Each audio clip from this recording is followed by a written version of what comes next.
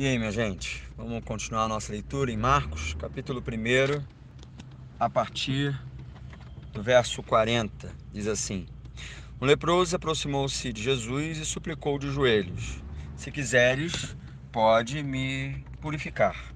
Cheio de compaixão, Jesus estendeu a mão, tocou nele e disse: Quero, seja purificado. Imediatamente a lepra o deixou e ele foi purificado. Em seguida, Jesus o despediu com uma severa advertência. Olhe, não conte isso a ninguém, mas vá mostrar ao sacerdote e ofereça pela sua purificação aos sacrifícios que Moisés ordenou, para que sirva de testemunho. Ele, porém, saiu e começou a tornar público o fato, espalhando a notícia. Por isso, Jesus não podia mais entrar, entrar publicamente em nenhuma cidade, mas ficava fora, em lugares solitários. Todavia, assim mesmo, vinha ele gente de todas as partes. O texto está falando sobre um dos camaradas que mais sofriam em relação à resistência de relacionamento, que era um leproso. Nós já estamos, já estamos, já ouvimos de forma muito recorrente que o leproso ele deveria andar de um lado para o outro dizendo impuro, impuro, porque assim sendo ninguém ia se aproximar dele porque ele não estava apto para convívio, até porque se ele era impuro, ninguém poderia se aproximar de algum ser impuro. Existiam leis muito severas em Levítico, por exemplo, a respeito dessa, desses contatos com a impureza. Você se tornaria impuro. Pois bem, eu lendo esse texto, eu fiquei pensando sobre a capacidade de não termos empatia em relação ao nosso próximo. O que, que seria, para falar a verdade, empatia? Empatia é quando você se propõe a se colocar no lugar de outra pessoa. Ou seja, viver o mesmo sentimento que aquela pessoa está vivenciando, experimentando. Seja um sentimento de tristeza, como também um sentimento de alegria trocando isso em miúdos, é como se você tivesse a oportunidade de calçar o sapato de outra pessoa.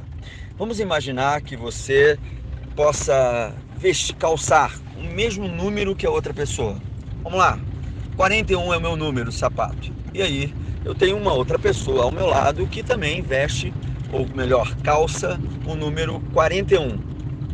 E aí eu digo e olho para essa pessoa e começo a dizer que essa pessoa está fazendo algumas caretas estranhas. A cada passo que ela dá na caminhada junto comigo, ela se sente desajustada e eu começo a perceber que ela olha fixamente para os seus pés. Então, de alguma forma, alguma coisa está dolorida nos pés dela. E aí eu fico imaginando, por que isso, né? Qual é a necessidade dessa pessoa fazer tanta careta? De se sentir tão desajustado, de andar mancando, que história é essa? E aí eu peço a essa pessoa o seguinte, a seguinte situação: Ei, me empresta o seu sapato para que eu calce o seu sapato para eu tentar entender o que você está passando. Olha o que é empatia. E aí eu calço o sapato daquela pessoa. Pergunto para ela: qual o teu número? E ela me diz: meu número é 41. Eu digo: o meu também é. E aí eu calço o sapato dela e me sinto desajustado. Vou olhar embaixo do sapato e o número que está ali é 40. Eu digo para ela, mas é lógico, você não teria como não sentir dor, você está com um número diferente daquilo que você deveria estar. E a pessoa me propõe que ela só tem oportunidade no momento de ter aquele sapato. E eu percebo que a dor dela é muito grande a partir do momento que eu calço o sapato dela. Às vezes a gente lida com gente a todo lado que está sentindo dores profundas. E eu acho que aquilo dali é uma coisa desnecessária. Já andou com algumas pessoas que são um tanto lerdas no caminhar? Você fica um tanto injuriado, né? Você quer chegar mais rápido e a pessoa não vem, e às vezes o sapato dela está doendo. A dor dela está muito grande. E a gente não consegue identificar isso. Minha gente, ou cuidamos uns dos outros, ou pereceremos. Calça o sapato de mais gente. Calça o sapato de mais pessoas. Talvez você vai começar a identificar que calçando o sapato dela, mesmo sendo do mesmo número que o seu, o pé, o sapato é diferente. E aí começa a doer. Quem sabe você pode, nessa longa caminhada, andar um pouco descalço e oferecer o número, o sapato do número certo para essa pessoa que está do seu lado.